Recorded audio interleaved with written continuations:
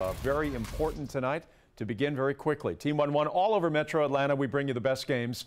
And this year, we're going to be getting some help showing you the highlights that you need to see from our friends at the NFHS Network. You can watch dozens of games all across the country by subscribing at nfhsnetwork.com. So here we go.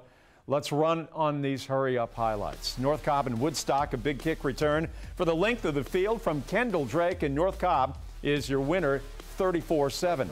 Allatoona and Cartersville. Allatoona's Jude Kelly with a long field goal, and Cartersville pulls off a one point victory tonight in August 14 13. Gainesville and Mary Persons. The Red Elephants punch it in, and they upset Mary Persons 27 21. We have more Team 1 1 highlights coming up, including our game of the week.